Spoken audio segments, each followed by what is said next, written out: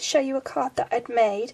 All the instructions for this card are actually in the latest Cricut magazine, which is the October edition, and you will find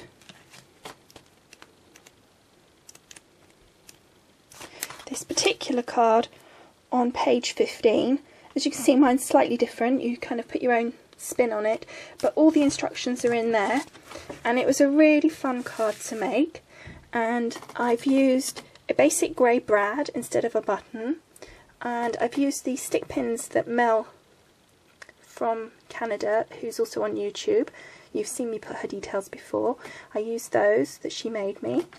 This is the Happy Hauntings cartridge and this was using the Martha Stewart circle punch and then I just circle punched it again to make the moon shape and this was actually the Martha Stewart cartridge um, all occasion cake cartridge that had these little tabs on and I cut it at 0.65 and then this is a Martha Stewart punch down the side here as well and the paper is from Echo Park.